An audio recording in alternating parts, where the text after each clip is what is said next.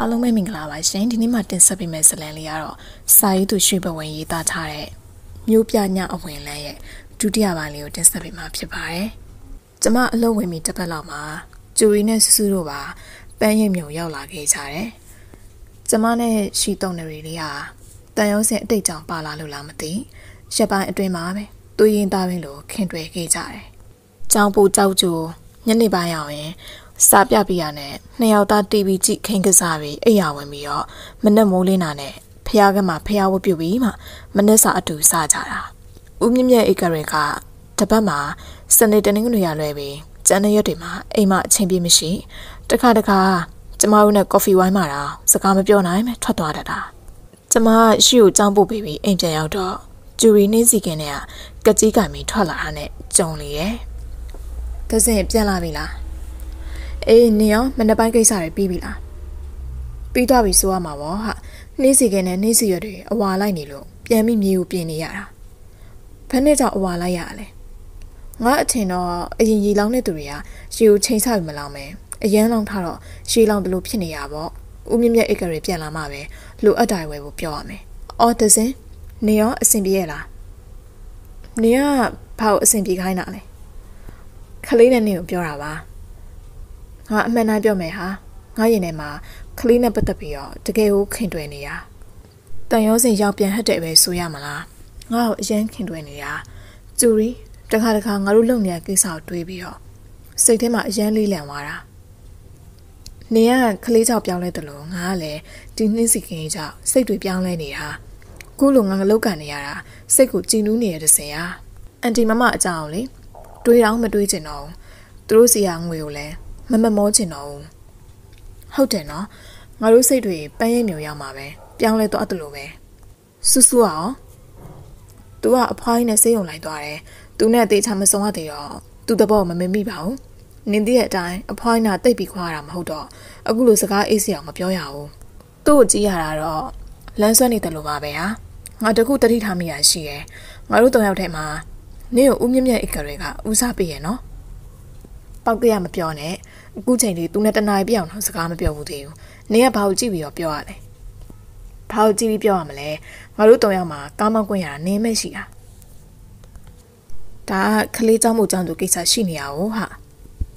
ဒါရင်မကပါဘူးမိသားစုကော်ဖီဝိုင်းမှာနင်းတယောက်ပဲထိုင်ရတာရောနင်တို့ကဝင်ပြီးမထိုင်လို့ပါသူကတတ်မှတ်ထားတာမှမဟုတ်တာတစင်နင်တတိမထားဘူးနဲ့တူတယ် ဒေါ်မြင်ပြောတော့မှငါတီးရဦးမြင့်မြတ်အိတ်ကလေးတောက်တဲ့ကော်ဖီဝါမှာခွက်သုံးခွက်ပဲပြင်ထားရတာငါတို့ကနောက်ဝိုင်းကြားမှတောက်ရတာဒါတော့တူတူမလေးကြောင့်ဖြစ်မှာပေါ့ဟာကျူရီငါတို့ရှာထားနေတာတဲ့ငကနရုပ်ထုနင်တွေ့ပြီလားနင်ပြောမှာပဲရုပ်ထုကိစ္စကိုသတိရရတယ်မတွေ့သေးဘူးလို့ပဲပြောထားမယ်နေခွင့်ရဒီဘဝလေးမှာတော့စိတ်ချမ်းသာအောင်နေမယ်ဟာမကောင်းလားတိတ်ပြီးကောင်းတာပေါ့ဒါနဲ့ငါတို့အတွက်ဟယ်လင်နိုင်ဆွေမိမှာအခုထိမတွေ့သေးပါလား စူးစူးမနေ့ကငါ့ကိုပြောတယ်ဟယ်လီနာနိုင်ငံကြောက်သွားနေတယ်လို့အဖွားကြီးစီကကြားခဲ့တယ်တဲ့ပန်းရောက်လာရင်ငါတို့နဲ့ပွဲကြီးပွဲကောင်းတော့တိုးမယ်ထင်တာပဲဟိသူဘလောက်စွမ်းနေဆိုတာစောင့်ကြည့်ရပါနေနဲ့စကားပြောကောင်းနေလို့မဖြစ်သေးဘူးဟိတမင်အဝတ်အစားတွေကိုရှော့ရအောင်မယ်ကျမကျူရီလက်မောင်းလေးကိုပုတ်ပြီးအိမ်ထဲဝင်လာခဲ့တယ်ဒေါ်မြင့်လက်ဖဖြစ်လို့လဲ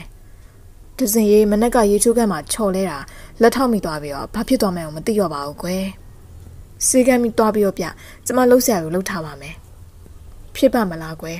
ဒီနေ့တူတော့မှအိမ်မှာပြန်ပြီးစားမယ်နော်သွားမှတာသွားပါကျမလက်ရအဆန်ကိုခတင်းတွေ့သွားစီပါမယ်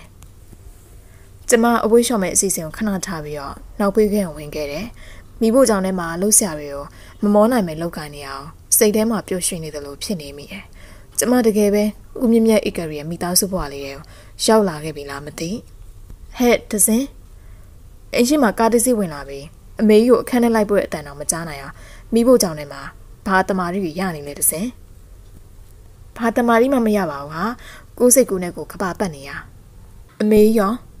အခန်းထဲမှာစေးတော့ပြီးတော့အိတ်နေတယ်ငါဘာလုပ်ပေးရမလဲဘာမှမလုပ်နဲ့နင်တို့လက်ရတွေကိုဦးမြင့်မြတ်ကြီးကကြိုက်မှာမဟုတ်ဘူးနေလက်ရကိုကြိုက်တယ်ပေါ့ မသိပါဘူးအခုမှစာမပွဲဖြေနေရတစင်အန်တီမမနဲ့ဒီနေ့တွေ့ရယ်ဆေးရုံမှာမမေကြီးစမ်းသက်ခံဝင်နေတော့ငါအပြင်ဘက်မှာဆေးထွက်ဝယ်တော့တွေ့ရတစင်ပစ္စည်းအချိန်ကိုအမြဲဆုံးသိအောင်လုပ်ပါတဲ့ငငါတော့ကျမတို့စူးစမ်းနေပါတယ်လို့ပြောလိုက်တယ်သူပြောတဲ့စကားတခုတော့သဘောမတွေ့ဘူး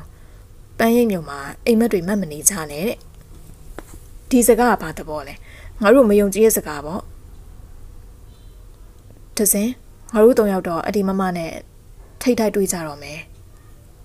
ခုပွဲကအဒီမမနဲ့စိန်ခေါ်ပွဲတစ်ခုဖြစ်လာနိုင်တယ်တေချာတလောက်တော့ဖြစ်နေပြီတစင်ငါလေပန်းရိပ်မြုံရောက်မှအရင်လမ်းဟောင်းပြန်မလျှောက်ချင်တော့ဘူးဟာနင်းလိုပါပဲဆူဆူရဲ့ကျမတို့အတွက်အတရရိုက်ပုတ်တန်တွေရောမကြောက်ဝန်းတော့ပြီဒီနေ့သမီးလေးရှိတုံးနေရီကြောင်ပရက်ဖြစ်တယ်လို့ခုနှစ်နှစ်ပြည့်မွေးနေ့ပွဲမှာ ပန်းရင်မြုံမိသားစုနဲ့ကျင်းပနိုင်မှုအတွက်အားလုံးအလုပ်များနေကြတယ်ထို့အချိန်မှာခြံရှိရကောင်းဟုံးတန်ကြောင့်သမီးလေးတို့အဝတ်အစားကိုလှမ်းနေရနေလှမ်းကြည့်မိလိုက်တယ်ကိုတန်ကြောက်တယောက်ကစူးစူးတော်မြင်တို့နဲ့ဈေးဝယ်ပါသွားတယ်လို့ဥပလာကတော့အိမ်ပေါ်တက်ဖျားကန်းမှာရှင်းလင်းနေရကြခြံဝန်းထဲမှာကျမနဲ့သမီးလေးပဲရှိတာဆီယာမဟိုမိမကားနဲ့တူတယ်ဒေါ်ဟဲလင်နိုင်လေကျမခြံဝန်းတကားကိုရှောက်သွားစဉ်ဟဲလင်နိုင်ကားပေါ်ကနေဆင်းလာတယ် တန်ချောင်းဖေဦးသွားနေလေဒီလောက်ကောင်းဟုတ်တယ်မကြတော့နားပင်သွားပြီလားဟဲလင်နိုင်စကားတန်ကလည်းခံပြင်းစရာဒေါသထွက်စေဟာကိုတန်ချောင်းအပြုံသွားနေရဲ့ငါကသမီးရှိတော်နေရဲ့ဆရာမပါမင်းကိုဘသူခန့်တာလဲဒီအိမ်မှာဦးမြင့်မြတ်ဧကရီထက်ဩဇာကြီးမားတဲ့သူမရှိဘူးထင်ပါတယ်။ကဲပါကျမတကားဖွင့်ရမှာလားရက်ပြီးစကားပြောရမှာလားမင်းလေတန်မလားငါဘာတူလဲဆိုတာမသိဘူးနဲ့တူတယ်။ ကျမသိဖို့မလိုပါဘူး။ကျမအလုပ်ကရှီတုံနရီကိုပဲစပြရမှာ။ကျန်တာတွေစုံစမ်းမှုရောက်နေမှာမဟုတ်တာ။ဟဲလင်နိုင်ကားပေါ်ပြန်တက်သွားမှခြံတကားကိုဖွင့်ပေးလိုက်တယ်။ကားကိုဒရကြမ်းမဝင်သွားပြီးကျူရီပြင်ဆင်ထားတဲ့နှင်းစီပန်းအိုတွေကိုကားနဲ့ပုတ်ဆွဲသွားလေတယ်။ဒီပန်းအိုတွေကမလွတ်မလပ်နဲ့ဘသူထားထားလဲဥပလား။ဟဲလင်နိုင်ကတော့ရှောက်တာနဲ့ပွဲကြံပြီ။ပန်းအိုတွေကမလွတ်မလပ်ထားတာမဟုတ်ဘူး။သူရှိတဲ့နေရာမှာရှိနေတာ။ရှင်ကရန်ကားပြီးဝင်တိုက်နေတာ။ ကျူရီနဲ့ဟဲလင်နိုင်တော့စပြီးတွေ့ပြီ။မင်းအစင်းနဲ့ခုကိစ္စအောင်မပြောနဲ့။မပြောလို့မရအောင်မင်းသားမမင်းဘလောက်ပဲချမ်းသာချမ်းသာဦးမြင့်မြတ်ဧကရင်နဲ့ဘလို့ပဲပတ်သက်ပတ်သက်ငါပြုစုပြောထောင်ထားတဲ့ပန်းမင်ပေါ်မှာအเจ้าမဲ့ဖြက်လို့ဖြစ်စီလို့တာတော့ပြောရမှာပဲ။ဘာမင်းကောင်းထဲမှာမှတ်ထားပန်းရဲ့မြို့မှာဟန်လင်နဲ့ကိုခေါင်းမော်ပြီးတော့ပြောရတဲ့သူတရားမှမရှိဘူး။ငါမင်းအလုပ်တမမဟုတ်ဘူး။တဲမင်းလက်မပါလာနဲ့နော်။ မင်းဘလောက်ဆွမ်းလဲဆိုတာစောင့်ကြည့်မယ်။ဟယ်လင်နာအန်ကျိတ်ပြီးတော့အိမ်ထဲကိုဝင်သွားတယ်။ကျမလည်းလှုပ်ရှားရုံလောက်ကမီတော့အိမ်ထဲကိုဝင်သွားလေရာဟယ်လင်နာဦးမြင့်မြတ်ဧကရေစာကြည့်ကန်နေရနေထွက်လာတာတွေ့လိုက်ရတယ်။ပြီးတော့မမေအခန့်ဝင်သွားချိန်မှာစူးစူးနဲ့တန်ချောင်းတို့ပြန်ရောက်လာတယ်။ဒေါ်မြင့်ဘာများလဲဟယ်လင်မမေအတွက်စိတ်တိုက်ဖို့ရေးအတုခါလောက်လာပို့ပါ။ဒေါ်မြင့်စူးစူးမျက်နှာကိုလမ်းမိကြည့်လိုက်တယ်။ ဘာရက်ကြည့်နေရလဲ။တွားခတ်လေ။ရှင်ဘသူလဲဆိုတော့ကျွန်မမသိဘူး။သိစရာအကြောင်းလည်းမရှိဘူး။ဒါပေမဲ့မမေစိတ်ထောက်ဖို့ကိစ္စကိုကျမခွင့်မပြုဘဲနဲ့တိုက်ပိုင်ဝင်မရှိပါဘူးနင်တို့တွေကတဲပြီးဟုတ်နေပါလားအရင်ကတည်းကငါစေးတိုင်နေကြဒေါ်မြင်ခုရေသွားခတ်ရှင်တိတ်ပြီးတိုက်ကျင်ရတယ်ဖြစ်လာတဲ့ပုံမှာရှင်တာဝန်ယူရမယ်မမေးတစုံတစ်ခုဖြစ်ရင်တရခန့်ရှင်ပဲဒေါ်မြင်သွားခတ်ပေးလိုက်ပါ ကျမဆရာဝန်စီကိုဖုန်းဆက်ပြီးတော့အသိပေးလိုက်မယ်ဒီယာမရောက်လာရင်အိမ်မှာအကုသိုလ်တွေကတခုမဟုတ်တခုဖြစ်တော့တာပဲဒေါ်လေးမြင်ဘာမှမပူနဲ့ဒင်းအဆွဲကိုကျမတို့ရိုက်ချိုးပြမယ်ကျမတို့တော့ရအိမ်ထဲမှာပြင်ဆင်ကြတယ်ပြင်ဆင်နေချိန်မှာပဲဟဲလင်နာပြောလိုက်တဲ့စကားတန်အောင်ကြိတ်ကြိတ်လောင်လောင်ကြားလိုက်ရတယ်ကိုကိုမြက်သူတို့အလုတ်ဖြုတ်လိုက်ပါဦးမြင့်မြတ်ဧကရီကတော့ဟယ်လီနိုက်စကားကိုခပ်ပေါ်ပေါ်နားထောင်ပြီသူတို့အလုတ်ထုတ်နိုင်လာတဲ့အမှားမျိုးတွေဘာကျူးလွန်လို့လဲဟယ်လီနိုက် သူတို့ပုံစံမျိုးမကြိုက်ဘူးမကြိုက်တာနဲ့ပဲအလုတ်ဖြုတ်ပစ်လိုက်တာတဘာဝကြတဲ့ကိစ္စမှမဟုတ်တာကိုကိုမြောက်ပြောလို့မရရင်မမေယူသွားပြီးပြောမယ်ဟဲလင်နိုင်မင်းဟာပန်းရိပ်မြော်ရဲ့အိမ်တွင်းရေးတွေမှာခင်မင်းရင်းနှီးမှုအခွင့်ကောင်းယူပြီးတော့မစွတ်ဖက်ပါနဲ့မိမိကိုဒုက္ခမပေးပါနဲ့မင်းကြိုက်တယ်လို့ယူဆနိုင်တယ်ဟဲလင်နိုင်မိဘချင်းခင်မမှုတွေကြောင့်ဖြစ်ပေါ်လာတဲ့ဆက်ဆံရေးကိုမထိခိုက်ချင်လို့ငါအရင်ကြီးဆုံးပြောနေတာကိုကိုမြက်ဘက်ကဒီအမရောက်လာမှဒီစကားမျိုးပြောထွက်တယ်ပေါ့ ရရလေဟဲလင်ပြန်မယ်ဟဲလင်နိုင်ပြန်ထွက်သွားလေရဲ့ဒဇင်ဆူဆူနဲ့ဂျူရီဟယ်လီနာရဲ့အပြုအမူတွေကိုကိုတောင်းပန်ပါတယ်။ရပါတယ်ဦးမြင့်မြတ်။ဒါနဲ့ဧည့်သည်ပဲချင်းရောက်ပါလေ။ည9နာရီလောက်မှရောက်မှာပါ။၃ယောက်တည်းပါ။ခုကလေးကကိုပြောထားမယ်။ဟယ်လီနာနဲ့ပတ်သက်ပြီးတော့အလျှော့ပေးစရာမလိုဘူးနော်ကျမတို့အပေါ်မှာခုလိုနားလည်မှုပေးအောင်ကျေးဇူးတင်ပါတယ်ဦးမြင့်မြတ်ကဲလှုပ်ဆက်ရှိအောင်လုပ်ကြပါမမေးစီကိုသွားလာအောင်မယ် တမီးတော့ဖွားဖွားကြီးနားမှာမနေဘူးနော်နေပါတယ်လေးလေးရဲ့မယုံရင်ဆရာမကိုမေးကြည့်တမီးဆရာမတမီးဘက်ကပဲပါမှာပေါ့တမီးလေးရောဆရာမနဲ့နေရတာပျော်ရဲ့လားပျော်တာမှအရန်ကိုပျော်တူမဖြစ်သူရဲ့စကားလေးကိုသဘောကျစွာနဲ့ခေါင်းလေးကိုပုတ်ပြီးအပေါ်တက်ကိုတက်သွားလေရဲ့ကျမဆူဆူကျူရီတမီးလေးရှိတော်နေရီနဲ့ဦးမြင့်မြတ်ဧကရစ်တို့တမီးလေးရဲ့မွေးနေ့ကောင်းမှုပြုလုပ်ဖို့ ရွှေတကုံစီကြီးကိုလာခဲ့ကြတယ်စီမီပူစော်သူကပူစော်ရှေချမ်းကတ်သူကကတ်ပန်းလူရဲ့လူကလူနဲ့ကျမတို့၃ယောက်လုံးကုတဝင်တဲ့ကိုတမီးလေးအတွက်ကုသိုလ်ပြုပေးနေကြတယ်ဦးမြင့်မြတ်ဧကရစ်တယောက်ကတော့ခလန်းလန်းမှာထိုင်ပြီးကျမတို့လောက်ကနေအောင်ကြည်နေတယ်ရွှေတုံနယ်လေးဖះရှိကိုပြရနဲ့အတူတူထပြီးရက်တော့မှဦးမြင့်မြတ်ဧကရစ်ကျမတို့နောက်ရောက်လာပြီ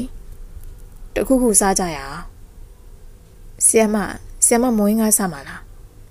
တမီးလေးစားမှာတော့စားမှာပေါ့ကျမတို့ဖះအောက်ဖက်စားတော့ဖွယ်ရဆိုင်ဘက်ကိုဆင်းလာခဲ့ကြတယ်ဒဇင်တို့စားနေကြအောင်ကိုတမီးလေးအတွက်ရွှေတင်ကဲသွားလှူအောင်မယ်လေးလေးအကြိုင်းမနေနဲ့နော်အေးပါလေးလေးလှူပြီးရနဲ့ချက်ချင်းပြန်လာမှာပါကျမတို့စားတော့ကြအဆုံရတဲ့ဆိုင်လေးမှာထိုင်ပြီးတော့စားတော့ချင်တာတွေကိုမာယူစားတော့နေစင်ပါပဲကျမနဲ့ပတ်သက်ဖို့တဲ့ကြောက်ပွဲစားချင်းမီစော့ကိုတွေ့လာရတယ်။ တဆင်တိတ်ပြီးလာတဲ့လှည့်စားခွက်လေးနဲ့ပညာပေးသွားတဲ့သခင်မလေးကိုပြန်မစုံရအောင်မှတ်ထားတာစိုက်စမြတ်ကိုတွေ့နေပါလား။ချင်းမီစော့ရှင်းတဲ့ကျမကြမှာဘာဆက်နေမှုမှမရှိတော့ဘူးနော်။ဒါမင်းဘက်ကအပိုင်လေငါဘက်ကပြောစရာကြံနေတယ်။မင်းငါနဲ့ခဏလိုက်ခဲ့ပါ။ကျမနဲ့ချင်းမီစော့ဒီနေရာမှာဆက်ပြောနေဦးမြင့်မြတ်အိတ်ကလေးပြန်ရောက်လာရင်ကျမတို့ရဲ့ငကူစားတရုပ်တွေကိုတိသွားနိုင်တာကြောင့်စူးစူးနဲ့ကျူရင် ငါခဏလိုက်သွားလာအောင်မယ်ဦးမြင့်မြတ်အိတ်ကလေးလာရင်အဲ့တဲ့နဲ့တူလို့စကားတော့ပြောရဲလို့ပြောထားလိုက်နော်ကျမချင်းမီစော်နဲ့အတူထွက်လာခဲ့ရင်ရှင်ပမာစင်းရှိမှလည်းပြောအေးအေးချမ်းနေရလေးကိုတွားကြတာပေါ့ဘလို့ဖြစ်တာလဲတစင်အရင်တော့စကားတွေမဟုတ်ပါလားအရင်သမိုင်းကြောင့်တွေမပြောနဲ့တစင်တို့ဘဝမှာပြီးသွားတဲ့နေရာမှာထားခဲ့တာစကားပိုတွေပြောမနေနဲ့ရှင်ဖြစ်ချင်တာကိုပြောငါစီကယူသွားတဲ့ကြောက်ကိုပြန်လိုချင်တယ်ကောင်းပြီကျမပြန်ရှာပေးမယ် ချိန်တော့ပြီမင်းတို့တွေကလေခုတွေ့ရပါမယ်နောက်ကိုပြောက်သွားတာကိုကြောက်နေပြီရှင်အတင်းချက်ကြီးမတောင်းဆိုနဲ့ကျမမှာအခုပေးစရာဘာမှမရှိဘူးပေးစရာရှိပါတယ်ဘာလဲရှင်ကကျမခန္ဓာကိုယ်အယောအစားလုပ်ချင်တဲ့သဘောလားဒဇင်းညံကောင်းပါတယ်ဒီလိုလွယ်လွယ်လေးသဘောပေါက်တင်ပါတယ်မင်းကိုအချိန်15မိနစ်ပေးမယ်စဉ်းစားလိုက်ပါအောင်ဒဇင်းမင်းတကယ်ကိုတုံးလုံးနေပြီမလား မင်းတို့ကနေစက်ထုတ်ရခန်းနာရယ်နော်မင်းခဏကိုလေးနဲ့စားရင်တန်ဖိုးကမိုးနဲ့မြေလာကိုကွာနေတာကျမဆုံးဖြတ်ချက်တစ်ခုကိုချတော့မယ်ရှင်မီစော်ကြောင့်ကျမစိတ်ကူးရင်ခပါလေပျက်စီးမခံနိုင်ကောင်းပြီရှင်သွားမယ်ဆရာနေရာကိုလိုက်ခဲ့မယ်ကျမဂျင်မီစော်ခေါ်တဲ့နောက်ကိုလိုက်လာတာကောင်းသောဆုံးဖြတ်ချက်ပေါ့ဂျင်မီစော့ကိုလူလောကအပြင်ဘက်ကိုအပီးပို့ဆောင်မှုအတွက်လိုက်ခဲ့တာဖြစ်လေတယ်ဂျင်မီစော့ကားတကားကိုဖွင့်ပေးပြီး ကျမကားပေါ်ရောက်တာနဲ့တကားပိတ်ပြီးတော့မောင်းထွက်လာတယ်ဂျင်မီစော့ကားရှိမှာအငါကားတစ်စီးဖြတ်ကျော်ပြီးပိတ်ရတယ်လို့လှုပ်လိုက်တာကြောင့်ပုတ်ကာတီကလေးကားကိုရက်လိုက်ရတယ်ဘလို့လောက်တာလဲကွာဘလို့လောက်တယ်ဆိုတာမင်းမမြင်ဘူးလားဟင်ကိုငိမ့်စစ်သူဂျင်မီစောငါစကားအပေါ်မပြောချင်ဘူးမင်းဘလူကောင်းဆိုတာငါသိတယ်လို့ငါဘလူကောင်းဆိုတာလည်းမင်းသိပါတယ်ဒဇင်းကိုငါကောင်းပေါ်ပြောင်းပြီးတော့တင်ပေးလိုက်ဟာသူနဲ့ငါစင်းရှင်းစရာရှိတယ် ငင်းစစ်သူသူ့လက်ဆွဲတစ်မြောင်လေးကိုထုတ်ပြီးငါသွေးထွက်တန်ရုံမူတွေမလုပ်ချင်ဘူးဂျင်မီခေါ်ခေါ်သွားပါကွာကျမဂျင်မီစော့ကားပေါ်ကနေငင်းစစ်သူကားလေးပေါ်ပြောင်းမိတက်လိုက်တယ်ဂျင်မီမင်းကိုတခါလေးတတိပေးလိုက်မယ်ဒဇင်ကနေဆက်လန်နေမှာမင်းဝင်ကမယ်ဆိုရင်ကံကောင်းမှာမဟုတ်ဘူးနော်မင်းစီကတစင်ယူသွားတဲ့ကြောက်ကိုမင်းဘယ်ကယူလာလဲဆိုတာမင်းသိမှာပါကြောက်ပိုင်ရှင်ဦးပန်းဆိုင်တို့အဖွဲ့ကိုဒီအကြောင်းပြောလိုက်တာနဲ့မင်းဘဝအတွက် မတွေးဝင်စရာဖြစ်သွားမယ်နော်စိတ်ချပါကွာဒဇင်တို့ဇလန်ထဲမှာငါမပါတော့ပါဘူးမင်းသာဦးပန်းဆိုင်တို့တွားမပြောပါနဲ့မင်းဘက်ကခတိတည်ရင်ငါဘက်ကလည်းတည်ပြီးသားပဲကဲတွားမယ်ကိုငင်းစစ်သူကျမဒီတခါတော့ရှင်ကျေးဇူးပေါ်မှာတသက်လုံးမေးရမှာမဟုတ်ဘူးလူဘဝလူလောကကြီးဟာတိတ်ကိုစမ်းကြက်ပါတဲ့စဉ်လူတယောက်နဲ့တယောက်ကြားမှာကံကြမ္မာခင်းပေးတဲ့ကိစ္စလေးအများကြီးရှိတယ်ဒီလိုပဲမင်းနဲ့ငါ့ကိုကံကြမ္မာတရားကြီးက ကူညီခွင့်ပေးနေလို့ပဲသဘောထားလိုက်ပါမင်းအခုရောက်နေတဲ့ဘဝလေးအောင်ပြောစရာကောင်းရဲ့လား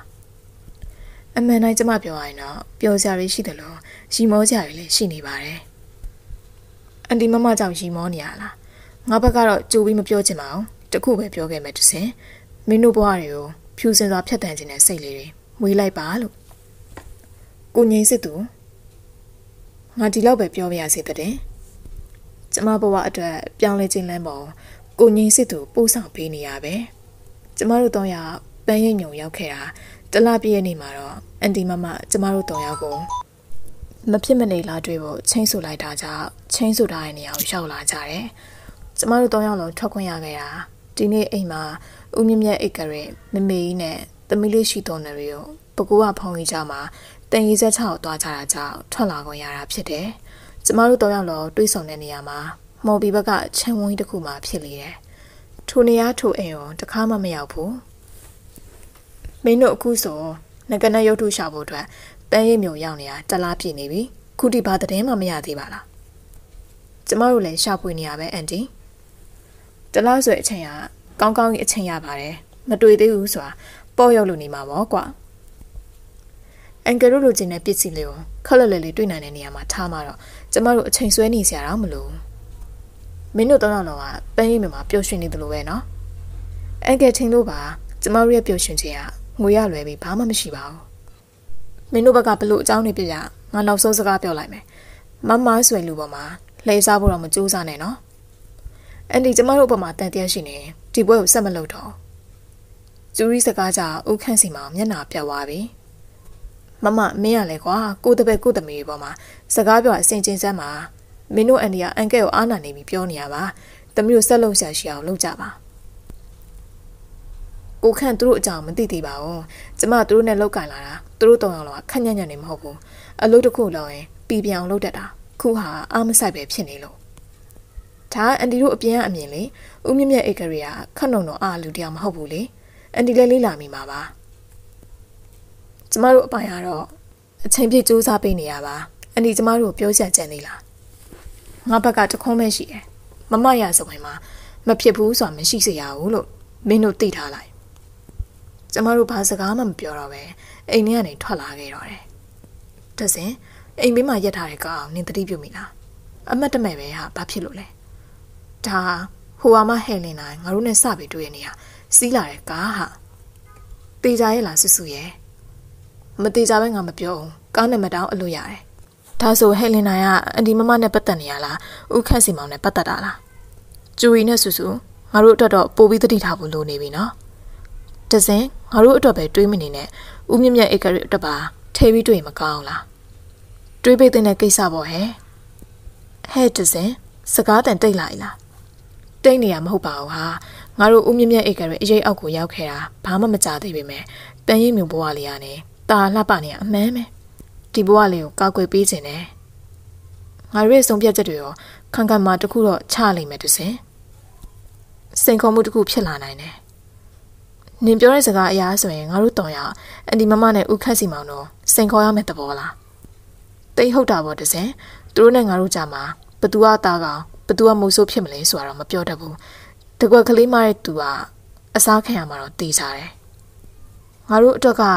အောက်ကိုစရာလူတယောက်ကိုမြင်ထားတယ်စုစုကိုငင်းစစ်သူပဲတစင်သူကဒူဆက်အမောက်လောကရဲ့ဘရင်တစုနော်အန်ဒီမမတို့နဲ့ပတ်သက်မှုမရှိဘူးလို့မပြောနိုင်ဘူးသူငါအပေါ်မှာတကယ်ကောင်းကြရတယ်အများကြီးပဲသူနဲ့ငါစကားပြောကြည့်ပါအောင်မယ်ဟာအင်းလေနင်းဘက်ကပိုင်ပြီးဆိုရင်တော့ငါတို့ကဘာမှစောတကတက်စရာမရှိဘူးသူနဲ့နေရအဆက်အသွယ်ရှိလားဟင်းအင်းငါစိတ်ထဲမှာ तू ကငါရဲ့အနောက်မှာရှိနေရလို့ထင်တာ ဘာကြောင့်ပြောရတယ်လဲဆိုရင်တော့ငါဘေးဒုက္ခတွေ့ရင် तू အမြဲတမ်းရောက်ရောက်လာတတ်တာဘလို့ပဲတွေ့တွေ့ငါတို့ပမာတကယ်ကိုညီမဲ့သူဖြစ်ပါစေလို့စူတောင်းမှာပေါ့တစင်ရအန်တီမမနဲ့ဦးခန့်စီမောင်တို့ဟာအင်အားကောင်းတယ်သူတို့နဲ့ရှင်မှုအတွက်ငါတို့ဘက်မှာသူရဲကောင်းတယောက်တော့လိုအပ်တာဒါဆိုဒီနေ့ကစပြီးတော့ငါတို့၃ယောက်လောစိန်ကော်ပွဲတစ်ခုစပြီလို့သတ်မှတ်လိုက်ကြမယ်စူးစူးနဲ့ကျူရီအန်ဒီရဲ့မီးရှင်ကြတယ်ရောလွတ်တွဲမဖြုတ်ချေဖြတ်ကျော်ကြမယ်နော် စိတ်ချတစင်ရေ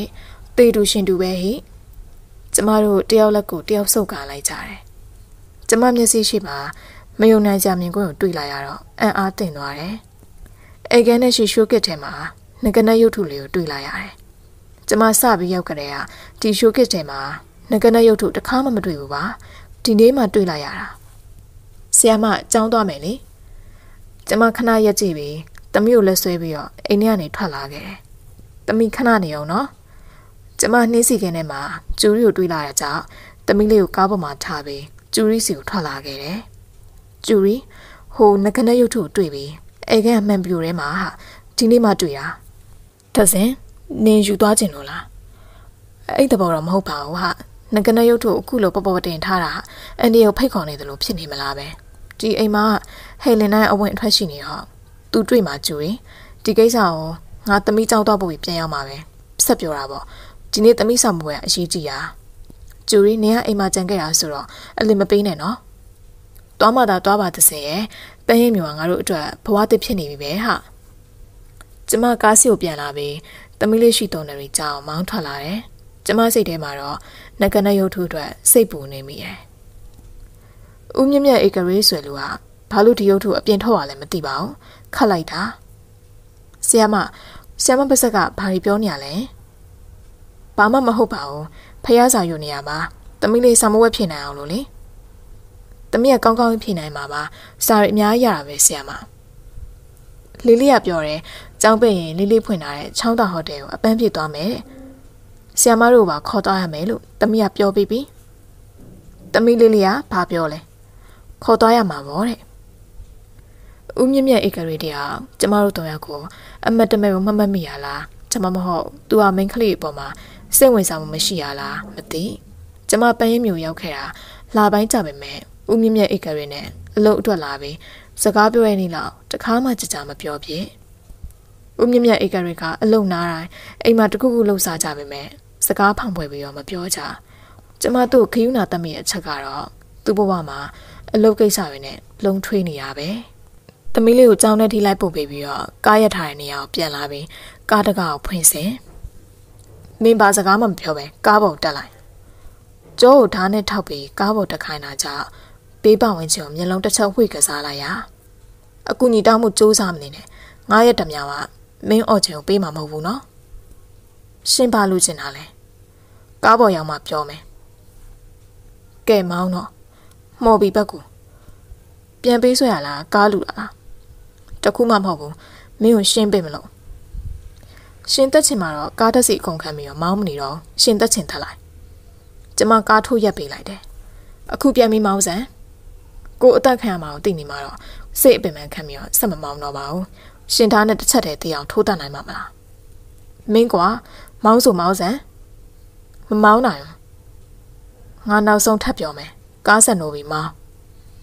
ကျမဘက်ကလည်းနောက်ဆုံးစကားပြောမယ်မမောင်းနိုင်ဘူး ကျမမျက်နှာစီကိုရောက်လာတဲ့လူဆိုးလက်ကိုကတ်ရှောင်ပြီးတော့မျက်နှာကိုရိုက်ချလိုက်တယ်။ကျမကားတကောက်အမြဲဆုံးဖွင့်ပြီးကားပေါ်ကဆင်းလိုက်တယ်။လူဆိုးလက်ချက်ချင်းဆင်းပြီးကျမနောက်ကိုလိုက်လာတယ်။ကျမရောက်နေတဲ့နေရာမှာအိမ်တွေခြံတွေရှိနေပေမဲ့အော်ခေါ်လို့မရရက်ကွက်ဖြစ်တာကြောင့်ကျမကားလမ်းအတိုင်းတုတ်ချိတ်တင်ပြီးတော့ကဲမဲသူရှာနေမိရဲ့။ကျမခြေောက်တစ်ဖက်မှာခြိုက်တစ်ခုလေးကျသွားပြီးရှေ့ကိုလေးကျသွားတယ်။ပြန်ထပေမဲ့ခြေောက်ကနာကျင်နေရကြောင့်ထောက်လို့မရ။ ကဲအမိဒီတကကြုတ်အလဲရှင်အနာမကတ်နိုင်နော်ကျမអော်လိုက်မှာမင်းអော်တဲ့အတန်ကိုကြားနိုင်တယ်တဲ့အိမ်မှမရှိဘူးអော်ကျင်တလောက်អော်စမ်းကျမအနာကိုလူစိုးတိုးကတ်လာပြီမင်းကိုတက်ရမှာတိတ်ကိုတနာစရာပါလားငါခေါ်ရိုင်းနောက်အတာတကြီးလိုက်ခင်တက်မဲ့ကိစ္စစဉ်းစားပြီမယ်ကျမတို့စီကိုကားတစ်စီးအချိန်တပြေးမောင်းလာတာတွေ့လိုက်ရတာကြောင့်လူစိုးအံ့အားတင်နေချိန်မှာ ကျမလူဆိုးရဲ့ထားကင်ထားတဲ့လက်ကိုချိန်နဲ့စောက်ကန်လိုက်တော့မှသူ့လက်ထဲကဓမြရင်းစင်ကြသွားတယ်။လူဆိုးကအကျသွားရတာကိုပြန်ကောက်ချိန်မှာကားမှာကျမတို့နဲ့အနီးဆုံးမှာထိုးရလိုက်ပြီ။ဦးမြင့်မြင့်အိတ်ကရင်ရုပ်ရှင်ရိုက်နေရတာမဟုတ်ပါဘူးနော်။ဟေ့လူခမရနဲ့မဆိုင်ကိုလက်ကိုသွားဒါကျုပ်စနေမင်းပါဇက်မို့မရှက်ပဲပြောထားတယ်ဒီအစ်စ်နဲ့တည်းရဲ့ဆင်ကလင်မယားတော်တယ်ပေါ့မင်းဆက်ထဲမှာလူရှင်တော်သွားလို့ကြားတယ်မင်းမှရှင်းမယ် ဓားကင်ထားတဲ့လူဆိုတာဦးမြင့်မြတ်ဧကရီကိုဓမြောင်နဲ့ဝင်ထိုးပေမဲ့ဦးမြင့်မြတ်ဧကရီရဲ့ခြေအောက်မှာလူဆိုးမျက်နှာစီကိုဝဲပြန်သွားပြီလူဆိုးမှာနောက်ကိုဖိန်ထားရကြပြီပြန်မထနိုင်တော့ပြီတစင်ထားလို့ရမလားဟင်းအင်းဖေဘက်ချေယောက်ကအရန်ဟွန်နာနေရငါဆွဲထုမယ်ကျမခဏကိုလေးမှာဦးမြင့်မြတ်အိတ်ကရီရဲ့လက်ပေါ်မှာပါသွားပြီးသူ့လက်မောင်းလေးကိုအားဖြူပြီးလိုက်ပါလာခဲ့တယ်ဟိုကားကိုဘယ်လိုလုပ်မလဲ ပြီးတော့မှတန်ကြောင်းလာပြီးယူခါလိုက်မယ်ဟိုလူဆိုးကိစ္စရောသူတတိယလာတော့သူ့မြတ်သူပြန်သွားမှာပေါ့ကျမတော့သူ့ရဲစခန်းပို့ချင်တာဒီကောက်ကိစ္စကိုခေါင်းနဲ့ထည့်မနေနဲ့တစင်နောက်တော့မှရှင်းကြတာပေါ့ကျမစိတ်ထဲမှာသိချင်နေတာကျမကိုဘယ်သူတတ်ခိုင်းလဲဆိုတာပဲမင်းချီတော့ကိုစေကန့်အရင်သွားပြမယ်သမီးเจ้าကျူဖို့ရောငါဒီနေ့အချင်းရပါတယ်သွားကြည့်မှာပါ ကျမနဲ့သူစကားလေးကအဲ့ဒီမှာပဲအဆုံးသတ်သွားပြီးတော့ဘာမှဆက်မပြောပြတော့ဘူးဦးမြင့်မြတ်ဧကရီကလူဆိုးကိစ္စနဲ့ပတ်သက်ပြီးတော့ဘာတစ်ခုမှမမေ့ရပဲအယိုးအကျော်အထုခုစီကမှာကျမကိုဝင်ပြတော့ခြေအစ်စ်လွဲသွားတယ်လို့ဆရာဝန်ကပြောပြီးလိုအပ်တာတွေလုပ်ပေးပြီးပြန်လွှတ်တာကြောင့်စီးကနေပြန်ထွက်ခဲ့ကြတယ်မင်းချီတော့ကအနည်းဆုံးနှစ်ပတ်လောက်တော့နနနေနေမှာသမီးလေးဆံမပွဲကအရေးကြီးပါတယ်ကျမတန်အောင်အဓိကထားလို့မရပါဘူးကျမသမီးလေးကိုစိတ်မချဘူး လူကြီးကိုဒုက္ခပေးလို့မရရင်ခလေးကိုဒုက္ခပေးလာနိုင်တယ်လေသမီးလေးလုံချိုရဲ့အတွက်ကငါစီစဉ်မယ်ဆံမပွဲကနောက်3ရက်ဆိုရင်ပြီးပြီပဲ3ရက်လုံးလုံးငါသမီးလေးကိုအကျိုးပို့လုပ်ပါမယ်ဦးမြင့်မြတ်ဧကရေအကျိုးပို့လုပ်မယ်ဆိုတာကြောင့်ကျမသမီးလေးအတွက်တော့စိတ်ချနိုင်ခဲ့တယ်ကျမတို့အိမ်ပြန်ရောက်တဲ့အထိနောက်ထပ်ဘာစကားမှမပြောပြတော့ဘူးညင်းငက်လေးရဲ့အတန်ကိုကြားနေရတယ်။နှွေလေယူလေးမှာပြတိပေါက်စီကိုတိုးဝှေ့တိုက်ခတ်နေရကြောင်း ကျမပြတိပေါက်ရှိမှရက်နေပြီးတော့အပြင်ကိုငေးနေမိတယ်။သမီးလေးရှိတော်နေရီကကျမနဲ့လာအိတ်နေရကြပြီ။ကျမပေါ်မှာရှီလေးခင်မင်မှုတန်ရုံစင်ကြည့်တယ်လို့ကျမကလည်းရှီလေးပေါ်မှာတန်ရုံစင်ကခိုင်မာစွာတုံနှောင်နေပြီ။ဆူဆူကအမေကြီးနဲ့အတူအိတ်ပေးရတယ်။ကျူရီကတော့အောက်ထပ်မှာအိတ်တယ်။တခါတခါဆူဆူနဲ့အတူအမေကြီးနားမှာနေပေးရလဲရှိတယ်။ခြံဝန်းထဲကမြက်ခင်းစိမ့်ပေါ်လာရောက်လေးပတ်ဖြန်လာတာကြောင့်မြက်ခင်းစိမ့်လေးမှာအလင်းပြန့်နေတယ်။ ခြံရဲ့ဘေးဘက်ကလူညောက်ဝင်လာတာကိုတွေ့လာရတယ်။ကျမသမီးလေးကိုစောင်းလေးလွှမ်းပြီးဆူဆူအခန်းဘက်ကိုရှောက်လာတယ်။ဆူဆူဆူဆူကိုလက်ရက်လှမ်းခေါ်လိုက်တယ်။ခြံထဲကိုတခိုးဝင်နေရဲ့။ဦးမြင့်မြတ်အိတ်ကလေးကိုတွားပြောမလား။ "तू ကညနေခရီးအပြုံထွက်သွားတာပြန်မြောက်သေးဘူး။ဟဲဒါဆိုအောက်ထပ်ကိုဆင်းမယ်။ကျိုးရီကိုပါနှိုးပြီးတော့တခုစီစဉ်တာပေါ့။အမေးလည်းအိတ်နေပြီ။ ကျမနဲ့ဆူဆူအောက်ထပ်ကိုဆင်းပြီးဥပလာနဲ့တန်ချောင်းတို့အကြောင်းကြဖို့ကြတော့ခြံထဲကိုဆင်းရမှာဖြစ်တာကြောင့်အိမ်ထဲမှာရှိကြတဲ့ကျမတို့တော့ရင်ဆိုင်ရတော့မယ်။ကျမချစ်ယောက်ကတိတ်ပြီးမကောင်းသေးတာကြောင့်တော်တော်လက်လက်တော့မရနိုင်သေး။ကျူရီတခိုးခြံထဲဝင်လာနေလို့ဟဲငါအထင်ငကနဲ့ရုပ်ထုခိုးတာပဲဖြစ်မယ်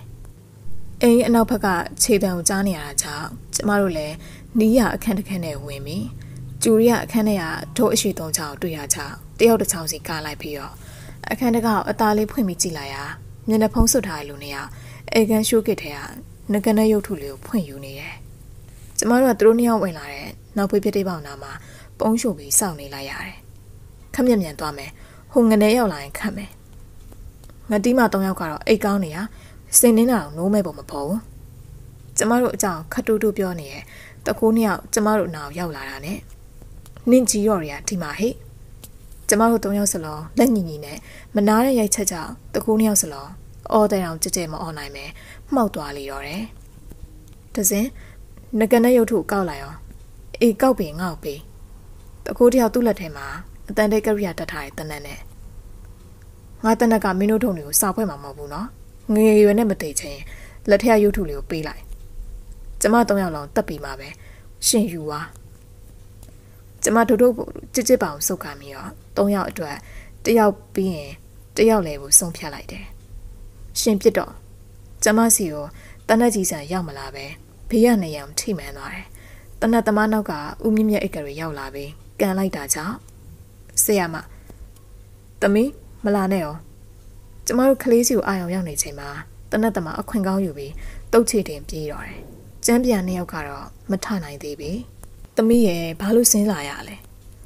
ဆီယမောင်မှမတွေ့ရတန်ချောင်းနဲ့ဥပလာဒီနှကောင်ကျိုးတော့ပြီးတတိယလောင်လို့နောက်မှရဲစကန်ကိုပို့မယ်အဲကဲမှာအားလုံးထိုင်လိုက်ပြီးရင်တော့ဒီနကနဲ့ရုပ်ထုဟာအန်ဒီယရီကိုဖိတ်ခေါ်တယ်လို့တော့ဖြစ်နေပြီဥမြမြဧကရက်ဒီနကနဲ့ရုပ်ထုတွေနဲ့ပတ်သက်ပြီးတော့ပြောပြလို့ရမယ်ဆိုရင်ပြောပြပါပြောပြလို့မရရင်တော့မပြောပြပါနဲ့မင်းတို့သိကျင်တယ်ဆိုရင်တော့ပြောပြမှာပါဒန်နာကြီးဆန်တဲ့ရာဇဝင်လေးဆိုမှာပေါ့ နဂနရုပ်ထုလေးနဲ့ပတ်သက်ပြီးတော့တခြားသူတွေကတိတ်ပြီးထူးဆန်းနေပြီမဲ့ငါအတွက်ကတော့မစဲကြလာပါဘူးဒီရုပ်ထုလေးကလူ20ကျော်တည်ခဲ့ပြီးပြီဒန်နာယူမပြောခင်မှာဒီရုပ်ထုကိုပိုင်ဆိုင်မှုစူးစမ်းခဲ့ကြတယ်မိသားစုနဲ့ဆိုဟာရန်လိုမှုမုံတီမှုရက်ဆက်မှုတွေနဲ့အပြန်အလှန်တပ်ဖြတ်ရင်တည်ဆုံးခဲ့ရတာခုဆိုအယောက်20ပြည့်ပြီနောက်ဆုံးမျိုးဆက်နှစ်ယောက်တည်းကဘသူအသက်ခံရမလဲမသိဘူးနောက်ဆုံးမျိုးဆက်ဆိုတာငါရဲ့ဟဲလင်နာရဲ့ သူကတစ်ဖက်မိသားစုရဲ့နောက်ဆုံးမျိုးဆက်ငါတစ်ဖက်မိသားစုရဲ့နောက်ဆုံးမျိုးဆက်ပေါ့အခုဒီရုပ်ထုကိုပြန်ယူဖို့ကြိုးစားနေကြတာခုမိထားတဲ့သူတွေကဟဲလင်နာခိုင်းတာကြောင့်လုပ်ပေးရတယ်ကြီးစားကောင်တွေပဲဟဲလင်နာမိသားစုကလွယ်ပြီးတော့တခြားမိသားစုရောရှိသေးလားရှိသေးတယ်ဦးခန့်စီမောင်ဆိုရင်လောဘရက်မှတ်သားပဲသူကငကနဲ့ရုပ်ထုရဲ့တဏ္ဍာကိုတပိုင်းတစသိပြီးအလိုရမတ်တွေနဲ့ပိုင်ဆိုင်မှုစူးစမ်းနေတာဦးခန့်စီမောင်နဲ့ဟဲလင်နိုင်တို့ကပတ်သက်မှုရှိလား